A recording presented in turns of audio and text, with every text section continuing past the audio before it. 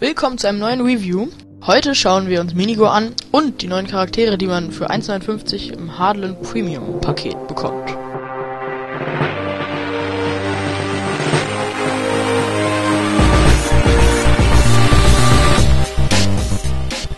Minigore konnte man anfangs nur einen einzigen Charakter spielen, John Gore. Nach und nach wurden neue Charaktere drauf geupdatet, wie ich schon im Blogpost erwähnt habe. Jetzt gibt es aber auch Charaktere, für die man Geld bezahlen muss. Das wären zum Beispiel Gangster, Gore, Zombie Gore und noch ganz viele andere. Insgesamt gibt es drei Pakete, das rote, das blaue und das grüne. Das rote und das blaue kosten jeweils 80 Cent und das grüne 1,59. Wir schauen uns heute das grüne Paket an und ich gebe einen kurzen Überblick, was man darin alles findet. Die beiden Hauptfiguren sind wahrscheinlich Opa Gore und Oma Gore, die man einzeln spielen kann, wobei Opa Gore eine Shotgun trägt. Die beiden kann man aber auch zu zweit spielen und zwar nicht im Koop, sondern alleine. Wenn wir das machen, wird Omagor von der AI übernommen. Dann gibt es auch noch den Pinguin-Mob, der aus dem großen Pinguin und vielen kleinen Pinguinen besteht. Man kann maximal sechs Pinguine einsammeln und wird da dementsprechend dann deutlich stärker. Denn ein Pinguin hat zwar nur ein Leben, beschützt euch aber trotzdem vor den kleinen Gegnern und kann schießen.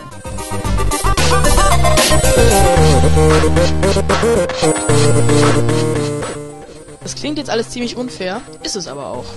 Denn wenn man zwei Charaktere spielt, ist man nun mal doppelt so gut wie nur einer.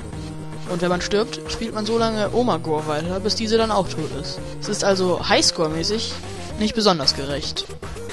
Der Pinguin-Mob ist aber noch ungerechter. Denn die Pinguine scharen sich um ein wie ein Schutzschild und verstärken die Feuerkraft.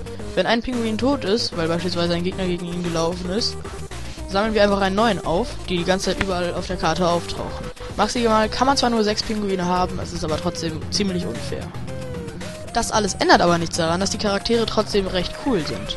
Und für 1,59 ist es vielleicht ein bisschen viel Geld, aber man kann es sich zumindest überlegen. Minigo an sich ist übrigens so oder so ein richtig gutes Spiel und auch wenn man sich keine Zusatzcharaktere kauft, lohnt es sich richtig. Und 80 Cent dafür ist einfach unglaublich wenig, da man sehr viel Spaß damit haben kann. Ist los? Das war's auch schon wieder für dieses Review. Also besucht den Blog, klickt Like bei Facebook, abonniert und so weiter. Ist ganz wichtig. Und bis zum nächsten Mal. Stay tuned.